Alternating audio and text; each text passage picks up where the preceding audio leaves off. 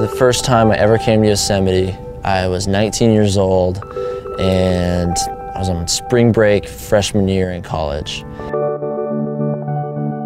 We drove through the Wawona Tunnel and then I was like completely floored when I saw El Cap. I was like, oh my God, that is the biggest rock I've ever seen in my whole life. I couldn't even comprehend how big it was because it was literally eight times bigger than anything I'd ever climbed before, ever even seen.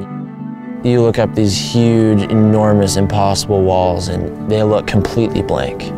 You can start breaking things down. You start seeing these huge, beautiful lines. And throughout the past five years that I've spent climbing here and learning that entire process, I've started to see the lines in between the previously climbed lines. Part of the progression for me is finding lines that haven't been climbed yet. I've kind of been craving this absolute mystery of being up on the walls and not knowing if we're gonna be able to get to the top. Earlier this season, I saw this beautiful line on Half Dome that had never been climbed before. And around the same time, I watched my friend Ethan Pringle up on Freerider, and it was super inspiring to see such a high caliber rock climber up there just crushing the route. And so it seemed only natural to ask him to come and try to do this route with me.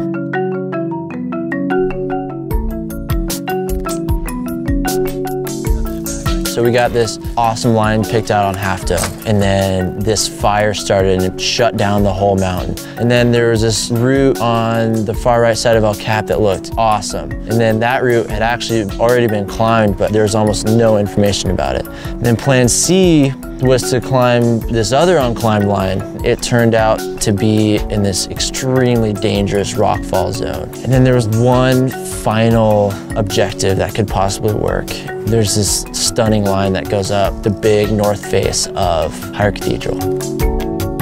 North face of Higher Cathedral Rock is this huge wall kind of tucked behind the big middle cathedral face that you can't really see. The only reason it hasn't been climbed is because the approach is pretty involved. There's some climbing to get there. It's pretty loose up this gully. Because of the difficult access, no one's ever explored a bunch of those crack systems up there.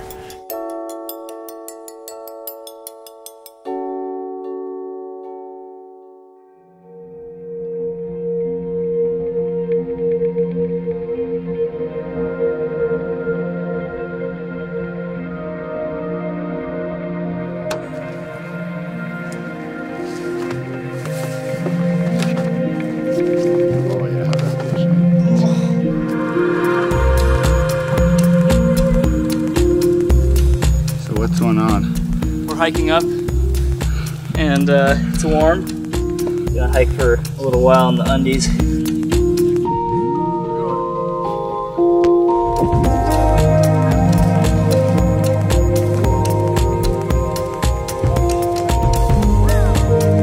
So Ethan and I are hiking up to the base of Higher Cathedral. Our bags are a little heavier than we hoped they'd be, but the route looks really awesome. And uh, yeah, we're pretty stoked to get up there.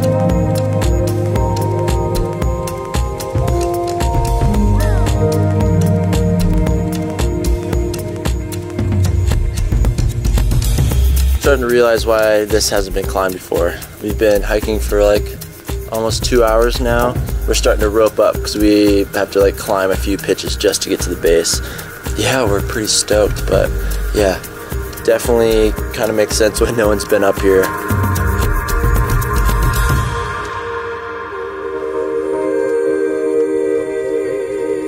This doesn't get people to repeat this route. I don't know what will.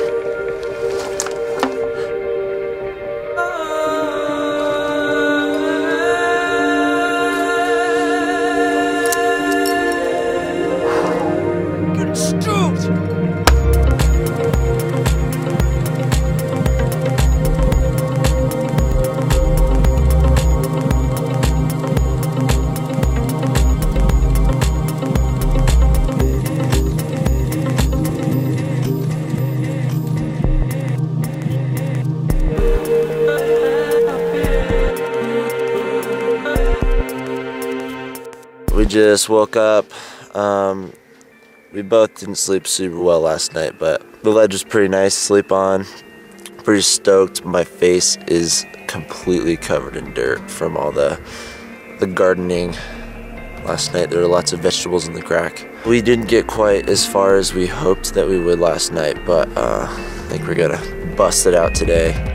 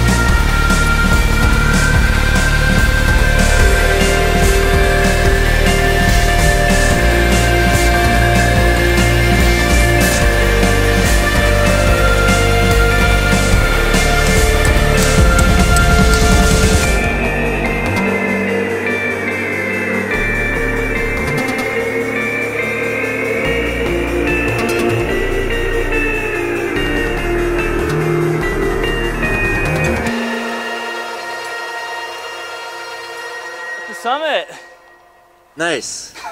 Thanks for doing that with me. Yeah. Anytime. That was awesome. People are gonna get psyched on this. People are gonna, this is gonna make people not want to go climbing after watching this footage. So for Ethan and I, the main goal was to go out and find the purest form of adventure. And even though all the other plans of routes that we wanted to climb here ended up falling through, we ended up climbing something that was totally rad and we found exactly what we were looking for.